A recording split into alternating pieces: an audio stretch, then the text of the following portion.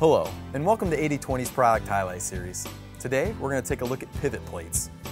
This connector allows bars to be positioned at various angles.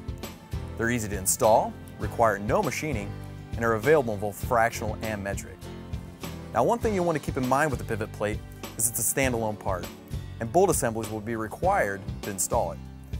More information on 8020's bolt assemblies can be found in the 8020 product catalog. Now when it comes to installing the pivot plate, the first thing you're want to do is preload your hardware. Preloading not only makes it easier to install your plates, but also saves time during assembly. Now, to finish up, I'm going to put one last bolt and one last T-nut into this plate. Now it's important when you're using your T-nuts to have the pilot projection facing downwards or away from the plate.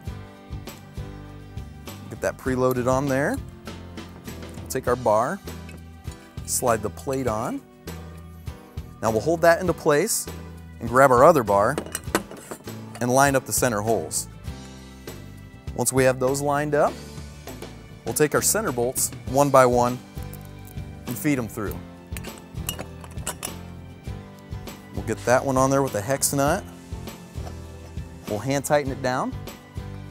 And we'll do the same thing on the back. We'll get a bolt, feed it through, get a hex nut on it and hand tighten it down as well.